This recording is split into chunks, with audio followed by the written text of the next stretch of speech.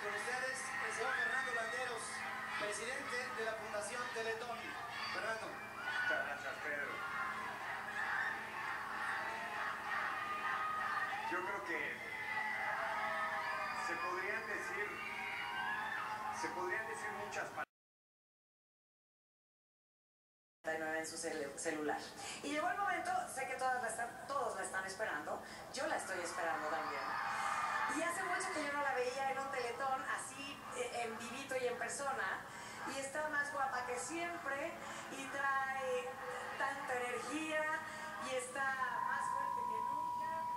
Y, y ya viene a seguir celebrando y cumpliendo sueños muy, muy posibles esta noche. Con ustedes, señoras y señores,